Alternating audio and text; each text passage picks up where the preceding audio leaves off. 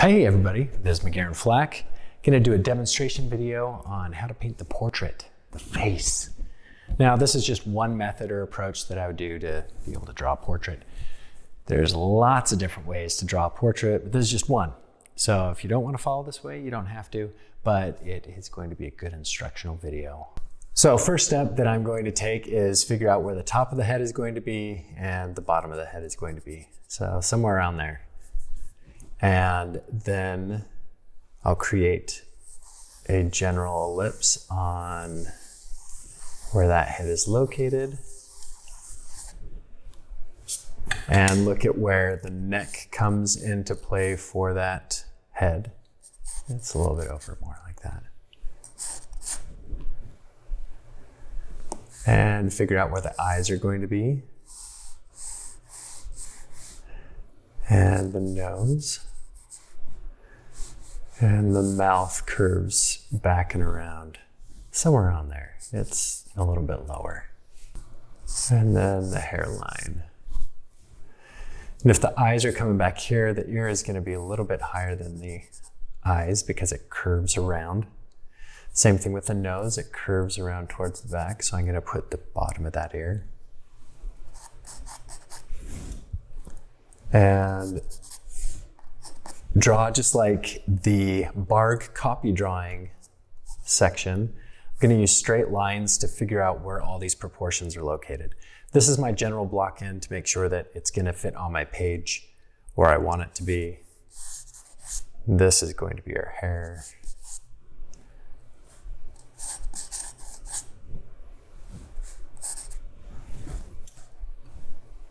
And if I draw a line from the shoulder, it should hit the chin. So if I go from the chin over, that's where my shoulder height's going to be.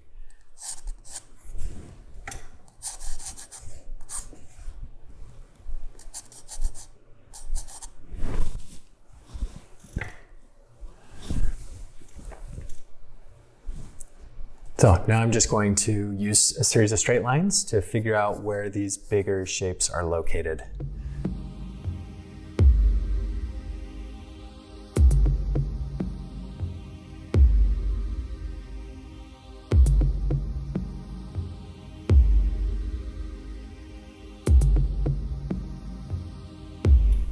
Okay, now I feel like I've given her just maybe a little bit too much face. I think I need to shrink the face, so I'm gonna double check my proportions. And I'll do that by measuring the width of the face in relationship to the height of certain landmarks in the face. So here from the chin to the top of the eyebrow, I have is the same size from the edge of the face to her hairline here where the ear starts. So I'm gonna double check my proportions and make adjustments between length of the nose, width of the nose, mouth, where is it in relationship to the eyes, ears, neck, everything.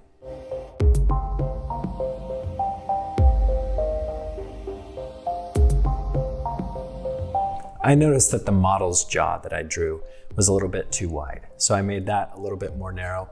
I also noticed that the jaw is half the height of the head. So I have the right height of the head in relationship to the width of the face.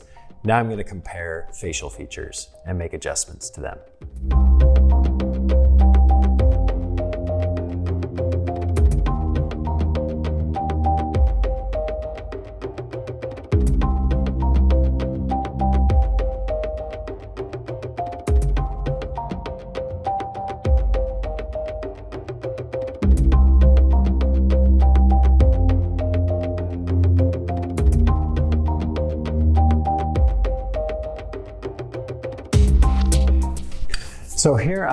Lined up the edge of the mouth lines up with the iris is what I'm noticing. I'm also not noticing the tear duct is lining up with the nose vertically.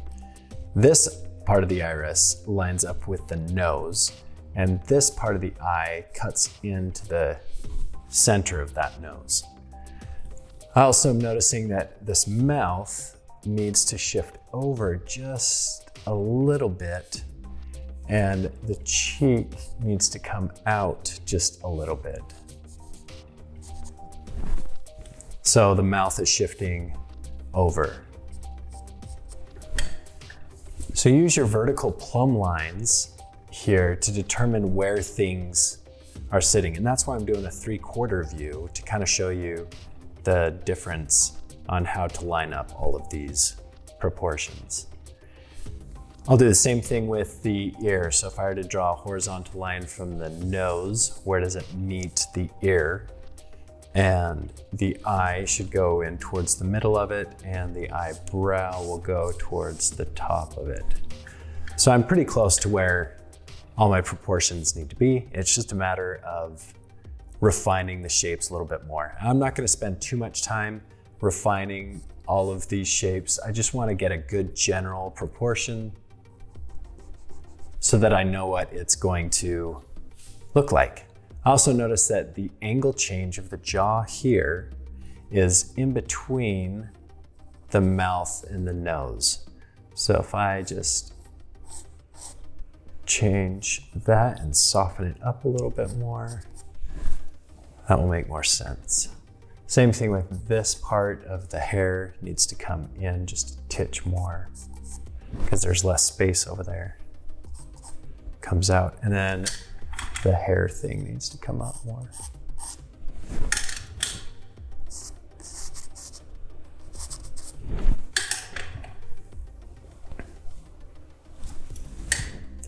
The neck starts right behind the earlobe here.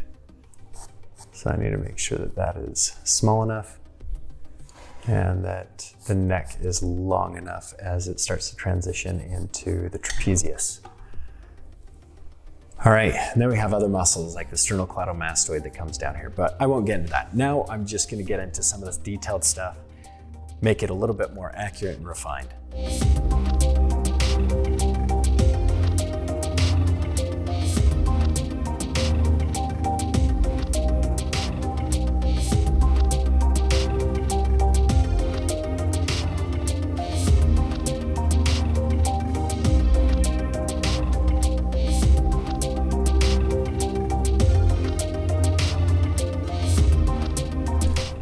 So here's a really important part. Here on the eye, the eyeball comes out and around. It doesn't touch the top of this eyelid. The top of the eyelid wraps around the back of the eyeball, kind of like that. Same thing with the bottom. The bottom eyelid wraps around towards the front. So I need to show that change that the eyeball does touch a little bit of that background. Then you have the socket, the bony landmark that sits on top of this eyelid and it comes out and up. The bottom eyelid kind of tapers down in and then you have the cheekbone that kind of wraps around the backside of it. So I hope you can see those subtle changes. Also notice I'm still using the side of my pencil. I haven't I haven't totally committed to these shapes yet. I'm just trying to find my way around these various shapes.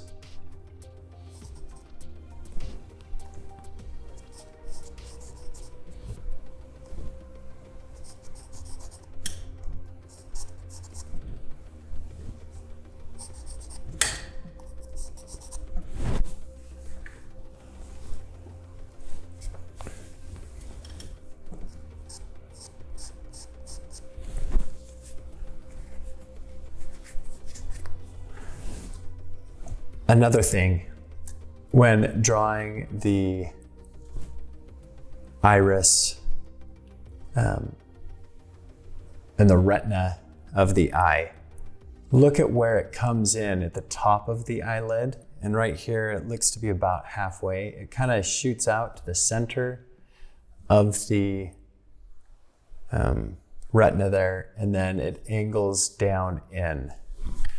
So it gets a curve, but it's it's not straight down. It's almost like the curve is being covered up by skin in the front. It's the same thing over here on this eye.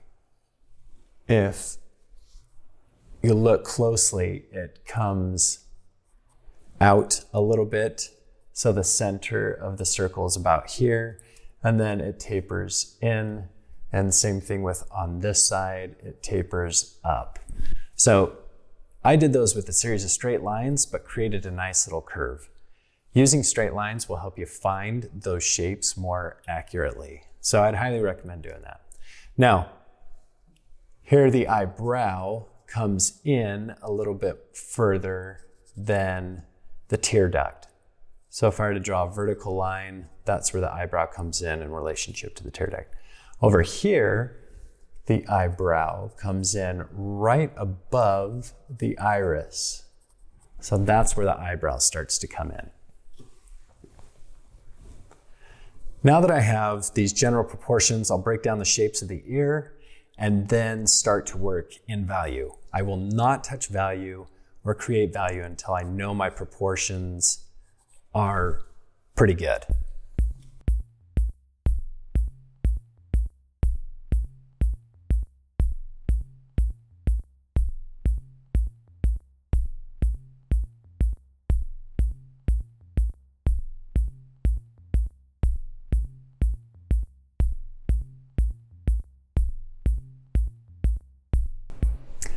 Now looking at this, if I had to, if I were to go from the jaw here and go vertical, I can see that the peak of the head is right above that jaw. It's not over the eye. The peak is not over here. It's not over the ear. It's right above the jaw. So the rest of this needs to be cut back down.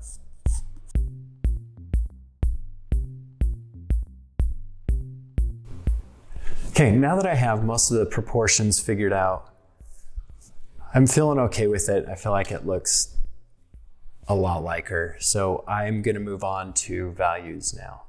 So I wanna divide the light shapes from the shadow shapes. And this is a pretty soft light shape, shadow shape transition, but I know that shadows are existing. So I'm gonna kind of put in those shadow shapes that I'm seeing so that I can simplify it for myself a little bit more.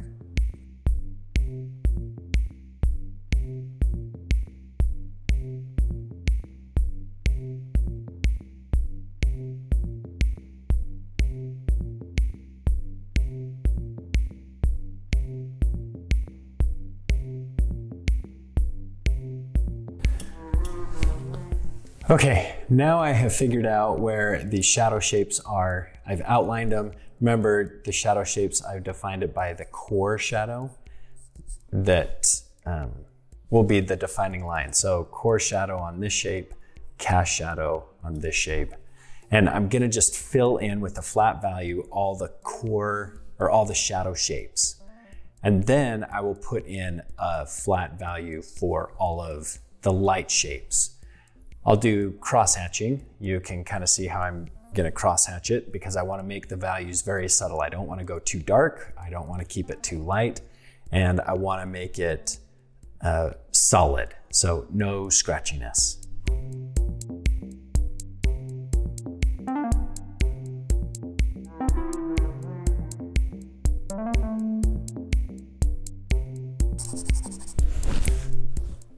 Here's a really important thing. Make sure that when you are putting these shadow shapes together that you're including the sclera. The sclera is the white of the eye. If I look at the sclera here in relationship to the light value of her flesh tone, the sclera is darker than the light of the flesh. So it is a part of the shadow shapes. So I'm going to draw them, draw the value in there as if it were a shadow shape.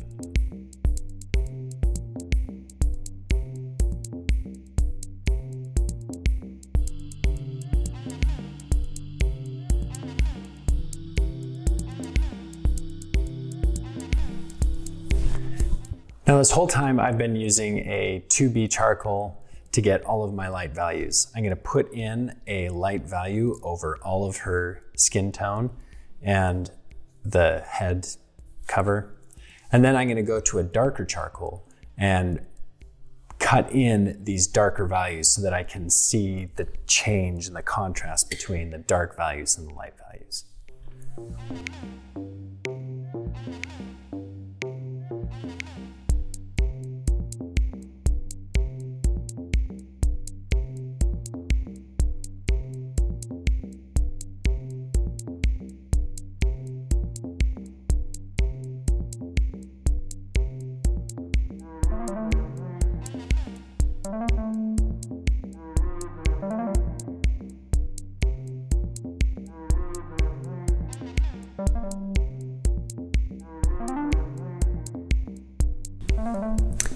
So I want to try to keep these shapes flat for as long as possible so that I can see the shape. As soon as I start to turn the form on it, then some of the shapes get lost and I have no idea what I'm looking at. So for me, I try to keep them as flat as I possibly can and darken the values as I go.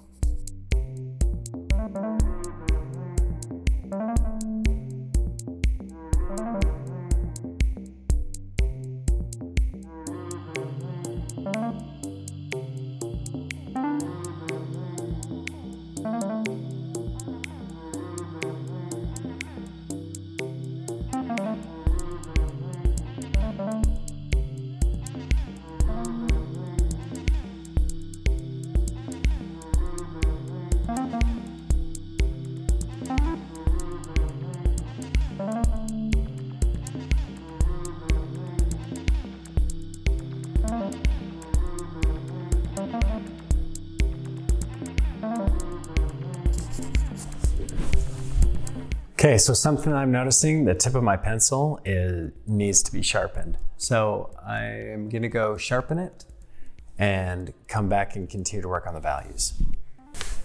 All right, now I'm gonna continue on with this nice sharp tip pencil, work on more of the values. I can tell that some of these values need to get darker, so I'm gonna push them a little bit darker with this 4B. I don't wanna get too dark, um, so I'm going to put in a value that is going to be my darkest dark.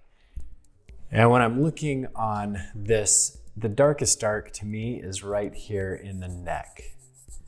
So I'm going to get my 6B pencil, um, my softest pencil, charcoal, and see if I can get my darkest value there.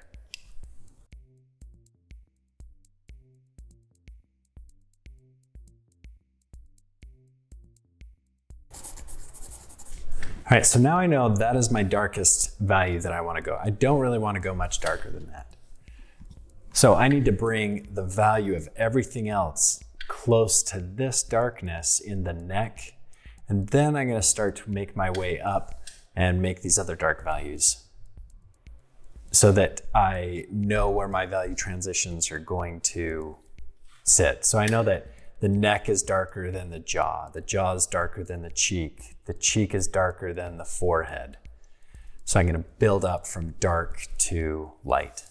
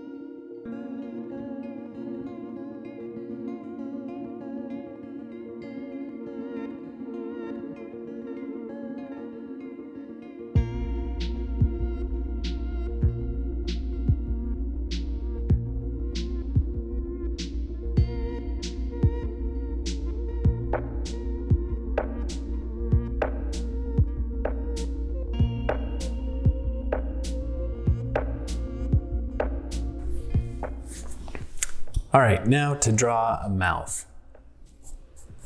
Students ask me all the time, how do you draw a mouth? First, you have the top of the lip and then the bottom of the lip. You saw how I had that outline before.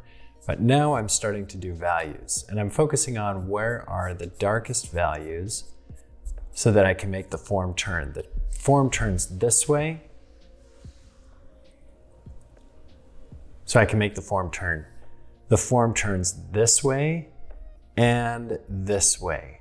So it comes down and then bulges out and comes down again.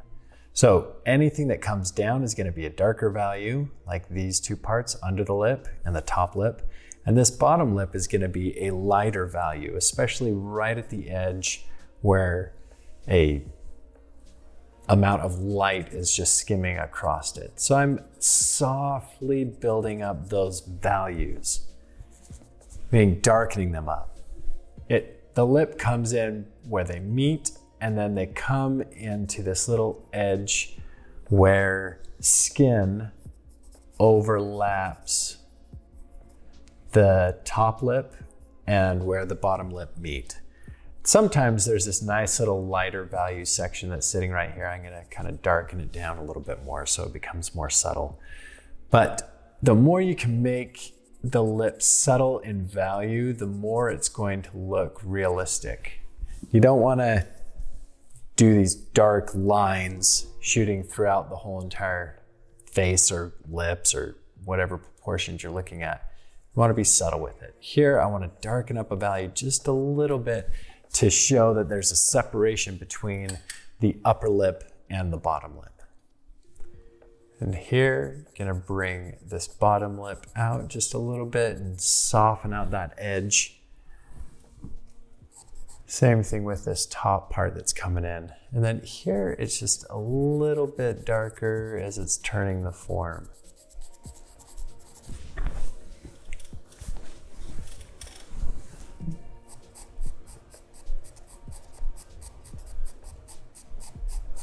Now in creating value, the difference between value and a contour is a contour is a line that divides a shape.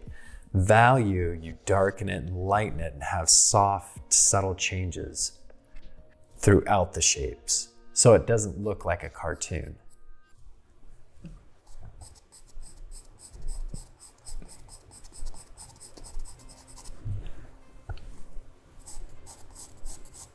The other thing that I'm doing that you can't see on the video is I'm leaning back and I am trying to look at it from a distance and see what shapes are really popping out, which shapes are more subtle. So this upper lip needs to be a little bit more subtle. And then there's this value that's coming in from the nair or the nose. And comes just out where it starts to hit the cheek. And there are darker values that are sitting here.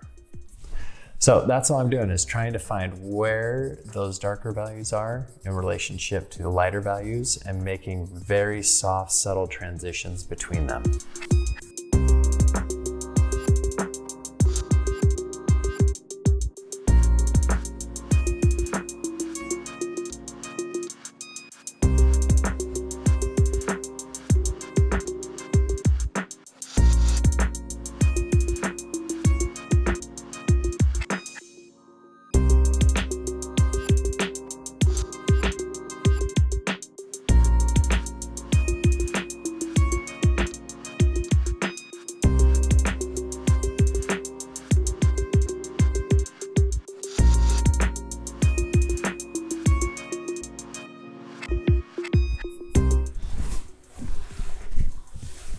Now when drawing the eye, you can tell that I did the retina, I did the upper lid without drawing in the upper lid of the contour, at least. And here I'm just darkening in that value so that it looks like it curves in. Comes from a dark value and it curves out into a lighter value. And I'm really gonna soften up that edge because I want that form to turn. I'm gonna bring it over here and soften out the upper eyelid on that side and also on this side because there's just a little bit of light that's touching this part of the eyelid. So soften out those edges as they're coming in. Almost like it's, there's no detail. It's just because it's in the shadows. You want it to stay in the shadows, not pop out. So don't make it too contrasty.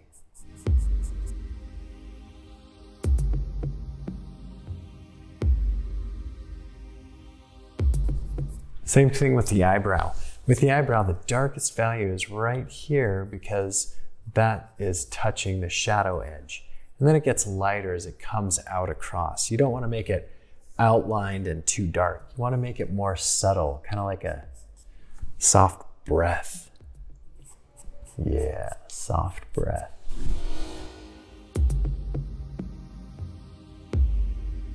Same thing with this other eye. When I put in the retina,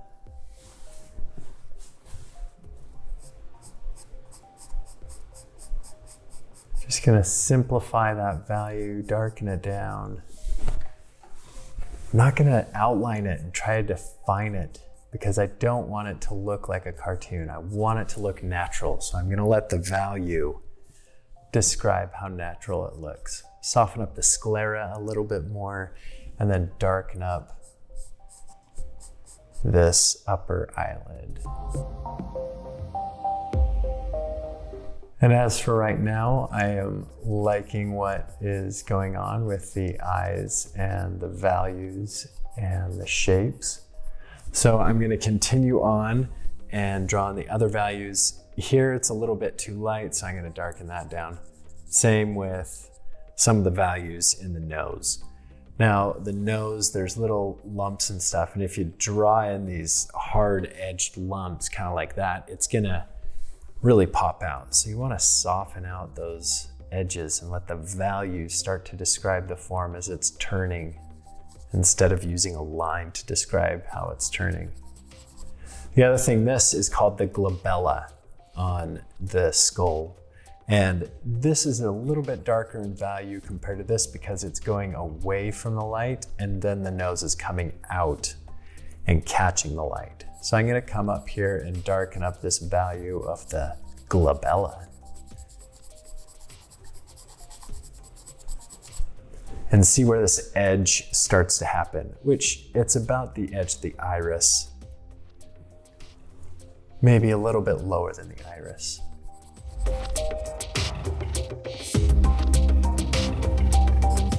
So here I know that I made that too dark, so I'm gonna do some touch-ups on these things that I made too dark.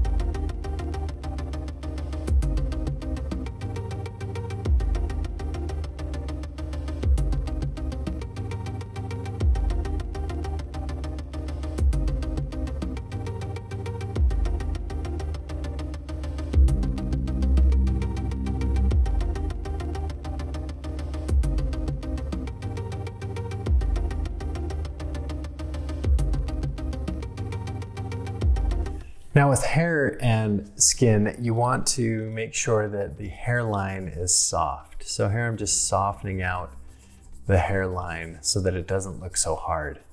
If you have it hard edged like that, then it's gonna distract. So you wanna soften out those edges. Here I'm drawing harder here and then lifting up and doing it more loose as it comes in towards the skin.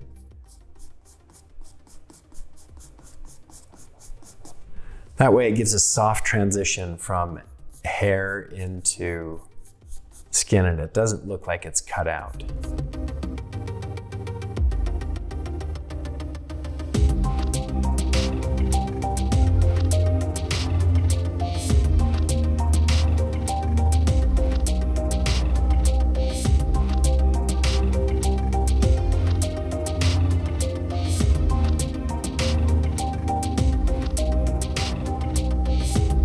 Okay, so I feel like it's coming along pretty good. I need to go and sharpen my pencils some more.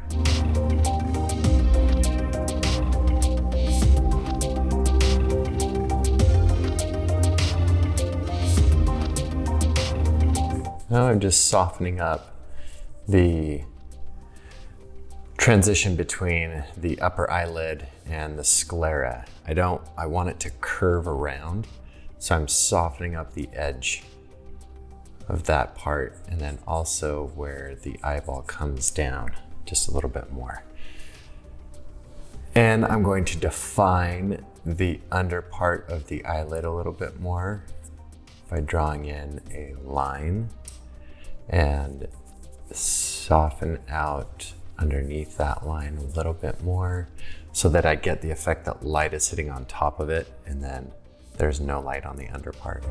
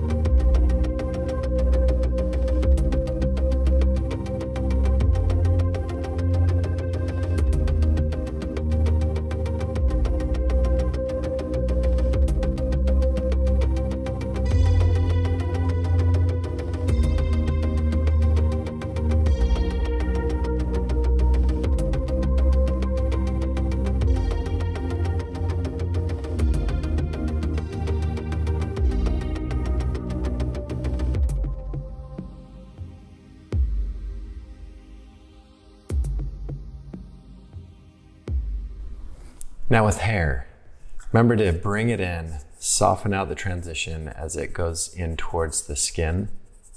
Here I'm just softening it out. Think of hair as a mass. You don't want to have the hair as uh, single lines or strands of hair because the hair turns and it reflects light differently. So it's actually going to change the look with each hair strand. So I'd recommend massing in hair shapes as opposed to drawing individual hairs. And that's what I'll demonstrate here is just drawing in the hair shape and I will also come down towards the bottom portion of the hair and describe how that is going to look. The other quality about hair is you need to make sure that it is soft edged. So here it's relatively soft over here, but if I just bring out a little bit of these lines, soft lines, then it really kind of gives it a softer feel as it's coming around the back there. And then this neck is in front of the hair, so it's going to be a harder edge. Same thing with this portion of the neck. It's going to be a harder edge because skin coming in front of the hair is going to show or describe as a harder edge. And then as it comes in here, it's going to be softer. So I'll just soften out some of this stuff, cut out some negative shapes in the hair so that it'll be more interesting.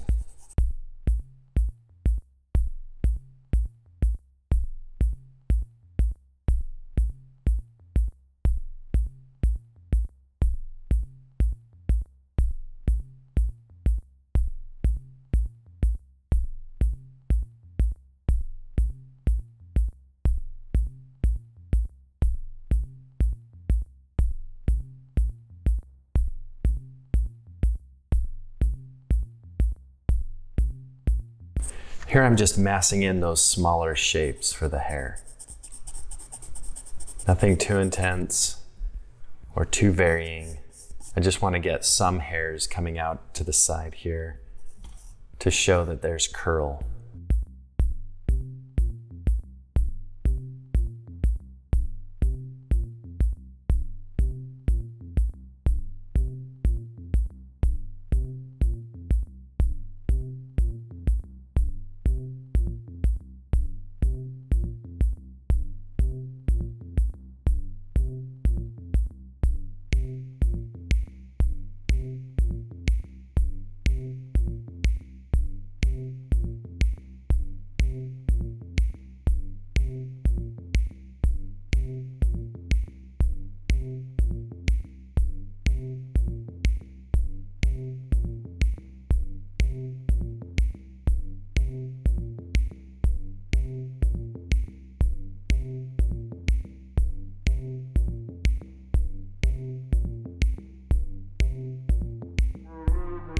Okay, I'm pretty happy with the way it has turned out. So I kept things pretty subtle, but the shapes and proportions are relatively accurate, like the nose, the eyes, the mouths, the ear. looks like nose, mouths, eyes, and ear. Neck, the shoulder, in relationship to the shirt that she's wearing. So I'm, I'm pretty pleased with the way it is right now. I'm gonna go in and clean up the drawing now with a hard edged eraser just to uh, make it pop out a little bit more so it doesn't feel as soft. The other thing is if you don't want to have all of this textural look to it, then make your drawing bigger. If you make your drawing bigger, the, the texture will look more subtle. The other thing is you could get a different type of paper if you want less texture. But this is charcoal drawing paper. It needs to have some type of tooth to it for the charcoal to be able to grab on. And um, yeah, so th those are two alternatives that you could do to uh, have a more smooth drawing. The other thing that you could do is you could smudge a drawing. Now for class purposes and learning how to apply value, I would not recommend smudging any drawing until you know how to use value to describe form with just freehand.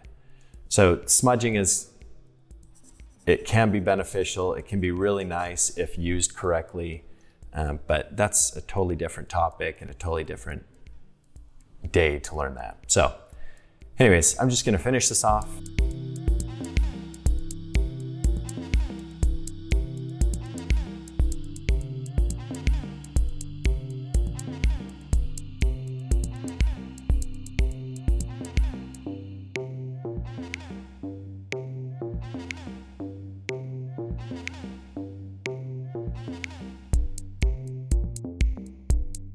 Okay, there's the portrait. Drew all the facial features, threw in some value on everything, did a little bit of texture design in her head wrap, whatever it's called. Um, got some additional information, her earring, her roundness of the shoulder, the shadow versus the light shape of the neck, also the face, so it's softly turning in form. Notice I have value everywhere. So I'll put in a couple of little highlights here in her earring and call it a day, but thank you for watching the whole entire video.